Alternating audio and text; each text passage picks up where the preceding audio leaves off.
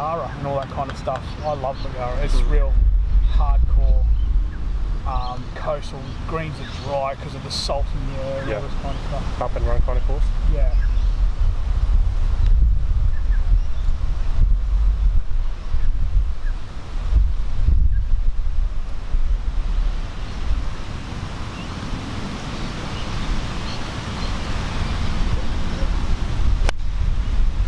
Oh yes. Keep turning over. That's got to be close, right? That's pretty close, I think. Oh. Great shot. Oh, you get some height. What was that? Pitching wedge.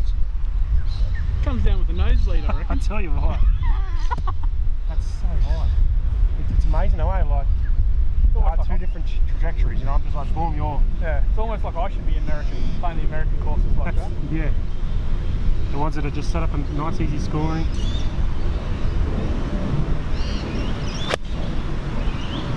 Beat it, yeah. Oh, just short. Look at the rip on that. Jesus Christ. Yeah, you could hear it through. You could hear it buzzing through air. I'm going to say it's not going to turn as much as we. It looks so severe. I think it is. So- off that bunker, Yeah. I think it is. I think you're looking at probably a cup, cup and a half to two cups left, Okay. and dribbling it down there. I'm almost thinking if I if I was going to lag so much, I'd almost be going.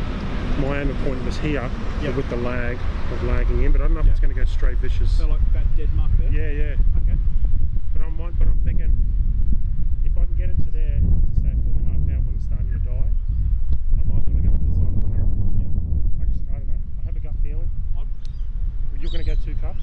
I'm gonna go see about foot short. There's like a little white piece of Yeah. sand. Yeah. That's where I'm going. Okay.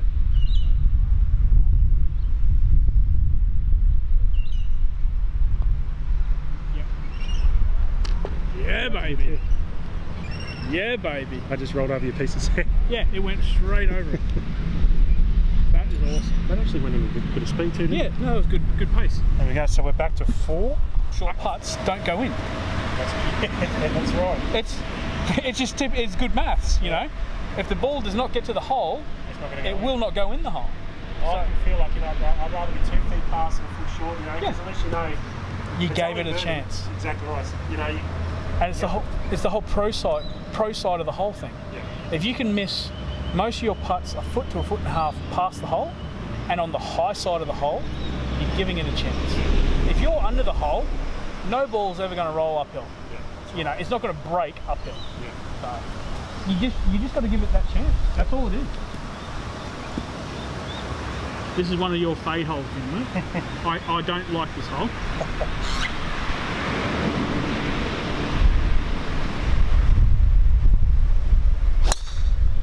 Did I do that?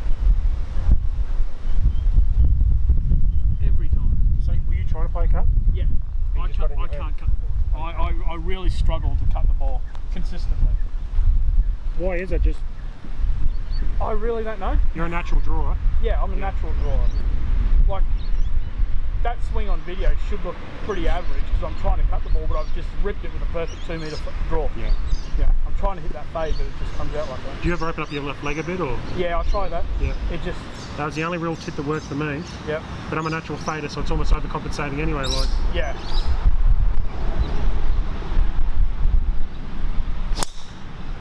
Oh, that is the ball. That is the ball. that felt so good because I've gone. I literally stopped about here to make Yeah. maintain control, and I felt like, yeah, right Yeah. in the middle. Yeah. Well, see, you know, the whole thing of getting the club parallel, Yeah. it's false. It, it, it's we're straight to the teeth, and there's a bit of wind up there too. So at least the club, club more. Oh, that felt good. And the thing is, that feeling, you just, you bring it to these shots as well. Yeah. It's exactly the same. It almost is like that swing is like 75% of my normal swing, but yet it felt like I went further. Yeah. But because you you middled it, Yep. you, you probably hit that with a, a crush factor of like 1.45. Like you're Yeah. getting the most out of it. Yep.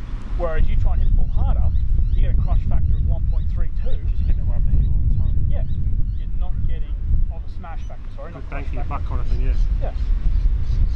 Try and play a little cut in. Oh, knockdown. Far. No.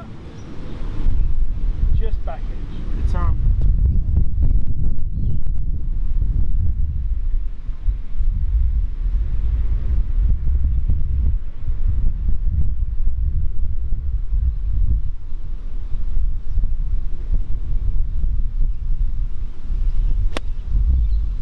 Oh yes.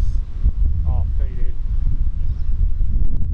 Oh Nah, the wind, man, just, the wind just killed it. that's wow. A little left to right, but only a little. Yeah.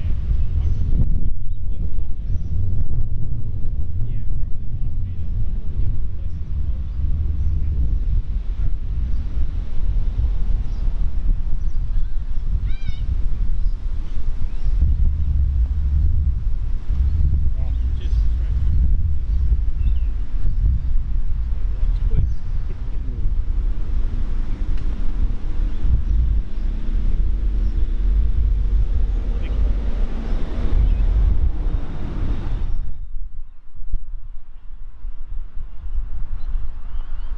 Good putt. So currently four under through 17. Yep. So Just the 18th to go now. see, we're trying to live the dream here, but Yeah. I think it just slipped through our fingers. it did, didn't it? Just like the putting and all that, like oh, crazy. Oh well. Let's see if we can finish five under through 18. Yep, let's do it. He's not playing a hole, is he? Nah, he, he just walks around.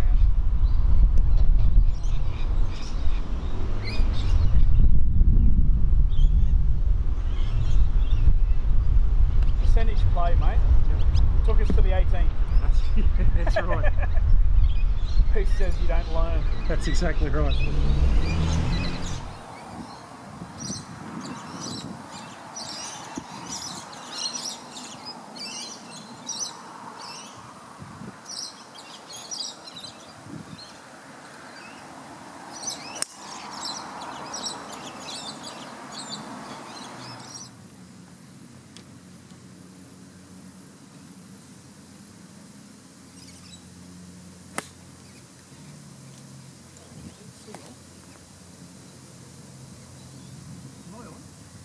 Yes, front left.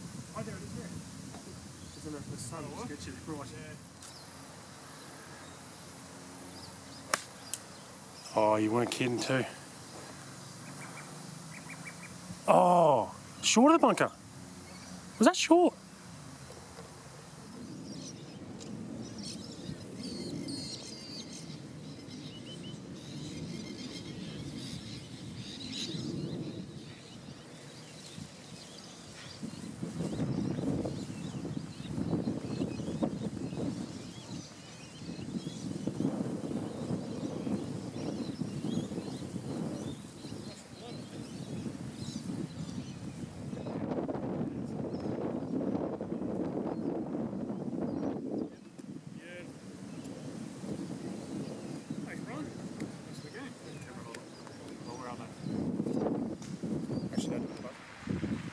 Alrighty guys, so that was Wynnum. We've just had to go across from the 18th to find somewhere to get out of the way. Yeah, yeah, um, players were. that's it. So four under through 18. Yeah, didn't quite hit the, the lows that we wanted, I guess.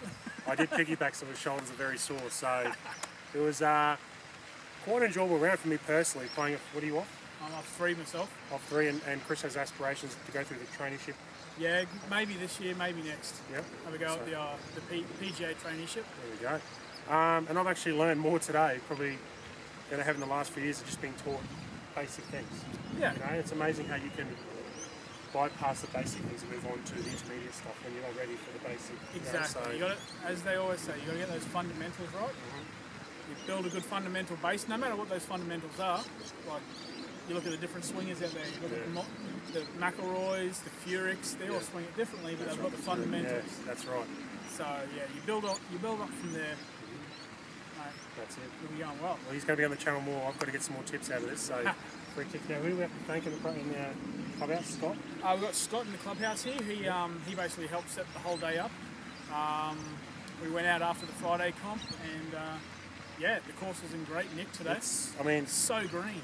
We're not playing up the filter. It is that great. Yeah, Like, it really is. It's, I mean, I played here when it was during the drought, probably like two years ago, and we had a lot of. This is unbelievable. Like this is like somebody got a felt pen and just Yep. went over. But I can't, I can't fault it. I think memberships right now they're doing the nine hundred ninety nine dollar special for 15 new months? for fifteen months for new members. For new members, yeah. I don't think that's rejoining members who haven't joined up for a year or two. I think No. they don't get that. But um, honestly, if I lived out here, I would definitely pay that because you don't find many courses nowadays where they get the simple things like, like the bunkers, Yep. how they make them, they cut them. It's always just perfect. Like, it. And it's Teasing. great, great social, social course. yeah, It's not too hard. Um, kick the ball straight. yeah, There's some challenging holes out there, um, but that's what makes golf great. that's right. You know. It's actually right. It's not a daunting course. Like you go to hills and you Yeah. know, 460 metre par four to play tees. You think Jesus Christ. Like, Exactly. Exactly. I mean, you have some long holes here, but they're playable. They're playable. Yeah. Yeah. So- you, it's in golf now. You, you take some easy holes. You know, have a chance at birdies and pars, and then sometimes you got to take a licking every now and That's then. right. You, you make that bogey or double. Yeah, You that's know. right. So um, yeah, beautiful course out here at the moment. Come on down and have a look. That's right. Nothing beats golf in the winter. So that's, That's it. uh, especially in Brisbane.